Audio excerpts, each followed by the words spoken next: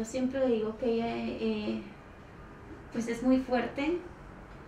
Amy Gandarilla tiene 17 años y le sonríe a la vida, pero hace unos años la situación no era la misma. Desde los 11 años, Amy Gandarilla fue diagnosticada que padecía de cardiomiopatía dilatada, una condición médica que fue desgastando su corazón y para seguir viviendo necesitaba un trasplante de corazón.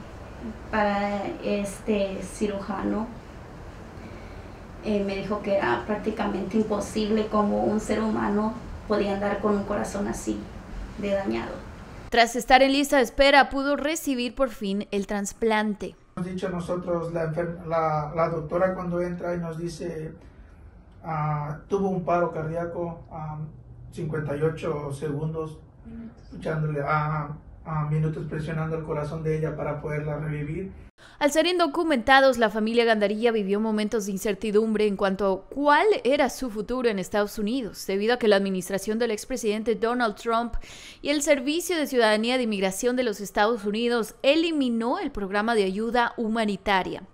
Sin embargo, fue renovado bajo la administración de Joe Biden y con la ayuda de la abogada Joe Rev lograron recibir permiso. Tienes esa protección contra deportación, tienes permiso de trabajo, puedes sacar la licencia de conducir, em, el seguro social, pues después vivir tranquilo, sin miedo que te deporten, sin miedo de que te pare la policía. Lo que hicimos funcionó, todo el trabajo duro y también las oraciones todo funcionó y, y, ahora sabemos que esos casos se están aprobando de, de, nuevo. Y luego de haber sobrellevado los momentos más difíciles, la familia Gandarilla está agradecida por una oportunidad más de vida.